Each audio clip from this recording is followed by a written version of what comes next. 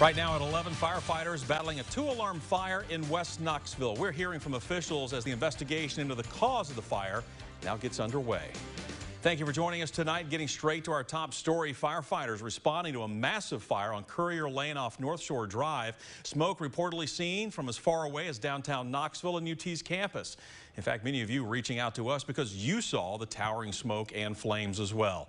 Six on your side reporter Elizabeth Kubel bringing us now more on the situation tonight.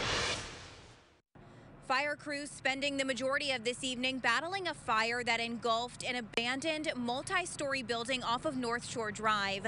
The scene much more active earlier in the evening. Take a look here at some video that was sent in to us by viewers. You can see here big flames and thick clouds of smoke shooting up into the air. Firefighters say reports came in from as far away as the downtown area. Crews from Rural Metro and the Knoxville Fire Department working together to put out this fire because it is on the city-county line. And just after they arrived, a KFD spokesperson tells us the top three floors of the abandoned structure collapsed. And he explains what happened next.